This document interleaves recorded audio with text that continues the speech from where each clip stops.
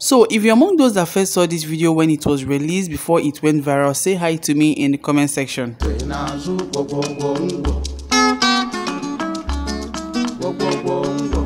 And if you're also among those that watched this unhealthy number of times, also say hi to me in the comment section. Hey guys, it's Annie here. Welcome to my channel. How you all doing? Hope you guys are good.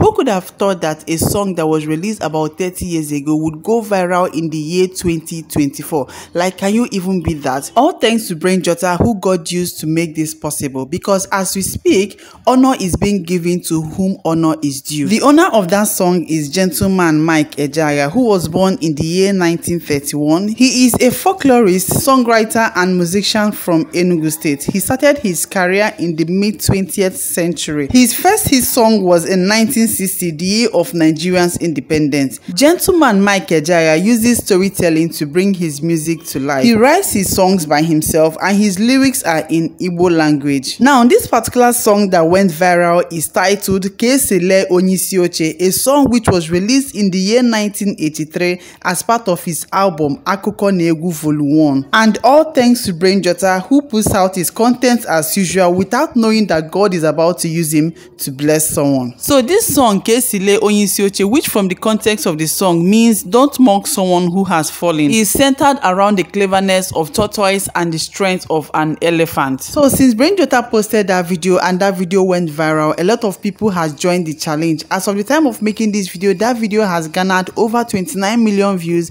and over 30,000 comments. And guys, as I still make this video, a lot of people are still joining the challenge. And if this is not grace, tell me what else it is. This particular one you're seeing is that of Nosarex and Mary Lazarus. They really took theirs to the next level. So as this song went viral and a lot of people joined the challenge, some people took it upon themselves to pay this man a visit in his home. And you can trust that they will not go there empty handed. And that is not all. Brain Jotter reached out to Tunde Ednut to be able to find this man so that he could give him 2 million naira. So while a lot of people were commending Brain Jotter for making that move by giving this man 2 million naira, a lot of people were not having it. For those people who were commending Brain Jotter, according to them, if not that Brain Jotter used this song in his video and the song went viral, nobody will remember Mike Ejeagha again. For some people who were not having it, this is what one of them had to say. So this is coming from Foundational Nupe lawyer. I hope I pronounced this correctly. He said, I hope the man has a good lawyer. You can't use someone's song for content, raking millions and offer to give the man 2 million naira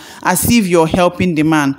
Guys, what do you think about this? But guys, come to think of this, I thought that Instagram does not operate like YouTube where you cannot use anybody's song anyhow. On YouTube, you can't just use people's song. You can only use their song on your shorts which is just a minute long. But on Instagram, I think is a fair use if you use someone's song and you tag the person. I don't think you owe the person anything. Please, if I'm wrong, correct me because I've been seeing tons and tons of videos on Instagram that has songs of artists and nobody has come out to sue anybody. The community guideline of Instagram is not the same with that of YouTube. And besides, if Brain Jotter hadn't used this song, nobody will remember Mike Ejeagha. That song will not go viral. People will not pay Mike Ejeagha a visit. And there will be no 2 million naira for Mike Ejeagha. It would have just been normal content as usual. And we move. So I think the guy is just yarning doors because there is no case. That is my own take on this. Let me also see your thoughts in the comment section. What do you think about this whole issue? What are your thoughts? Let me see them in the comment section. And please, if you have not subscribed to my channel, please do so by hitting the red subscribe button and put on your post notifications so that whenever I upload a new video, you'll be notified. And don't forget to share your thoughts in the comment section. See you in my next video.